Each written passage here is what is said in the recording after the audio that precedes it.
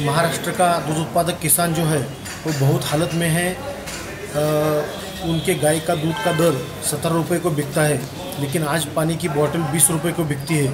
इतने हालत में किसान है कि वो कभी भी आत्महत्या करने के मूड में है।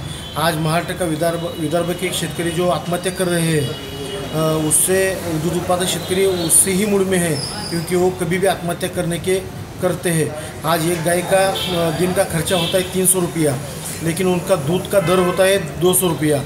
इतने तोटे में गई पालनी पड़ती है।